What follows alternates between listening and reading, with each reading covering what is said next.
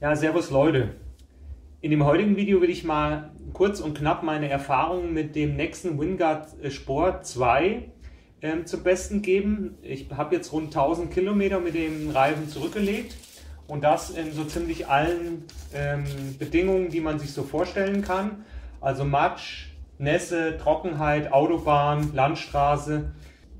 Ich zeige euch gerade mal, wie es aktuell aussieht. Wir hatten also jetzt im Dezember 2017 schon reichlich Schnee. Und so sieht es augenblicklich aus. Ich habe auch eine recht steile Einfahrt. Ich werde hier rechts oben auch mal ein, ein kleines Video verlinken, wo, ich, ähm, wo ihr auch mal sehen könnt, wie viel Schnee hier jetzt mittlerweile schon gefallen war. Und jetzt kommt, wie gesagt, ein kurzes Fazit schon mal nach rund 1000 Kilometern zu dem Reifen. Zum Thema Trockenhaftung und Abrollgeräusch und Abrollkomfort muss ich wirklich sagen, bin ich sehr positiv äh, überrascht von dem Reifen.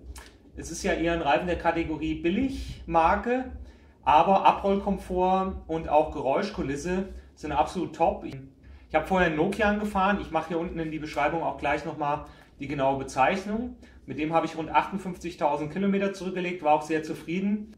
Der nächste ist in meinen Augen nicht schlechter, was Trockenheit angeht.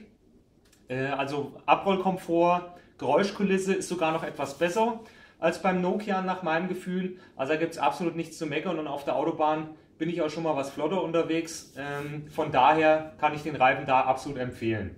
Dann, was das Thema Nässehaftung angeht, muss ich sagen, bin ich auch sehr überrascht und auch positiv überrascht von dem Reifen, weil er da dem Nokia nicht nur nicht nachsteht, sondern er ist sogar ein Ticken besser, was Nasshaftung angeht. Beim Autobahnkreuz A7, A66 habe ich so eine Stelle, wo ich mit dem Nokia schon immer mal Untersteuern hatte, also dass er über die Vorderräder geschoben hat.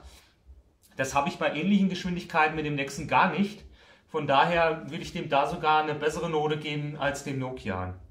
Dann äh, Schneematsch und auch Aquaplaning kann ich nicht meckern, macht er das, was ich von einem Winterreifen erwarten würde. Ist er absolut unauffällig, also auch da in keinsten Fall würde ich ihm da äh, attestieren, dass man das Thema billig äh, merkt, auch Schneematsch. Dann Schnee hatten wir jetzt wirklich schon reichlich. Ich war eben gerade äh, langlaufen oben auf der Wasserkuppe. Da war dann auf dem Parkplatz auch nicht ordentlich geräumt. Und ich habe mit dem Reifen überhaupt keine Probleme gehabt. Der Grip ist wirklich absolut top auf Schnee.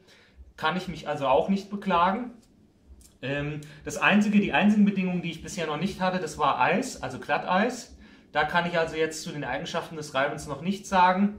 Aber so wie er bisher sich in allen Lagen verhalten hat, erwarte ich da auch keine negativen Überraschungen. Und deshalb komme ich jetzt auch zu meinem Fazit nach 1000 Kilometern.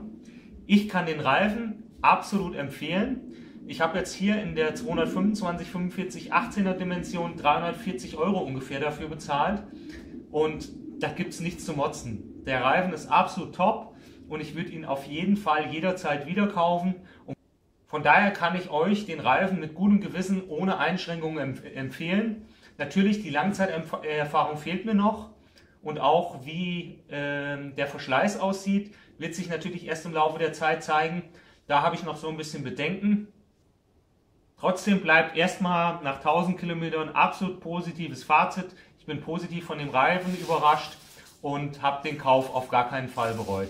Das soll es für heute für das Video gewesen sein. Wenn ihr noch Anregungen oder Tipps habt, wie immer gerne unten in die Kommentarfunktion. Ich versuche dann auch so schnell wie möglich zu antworten.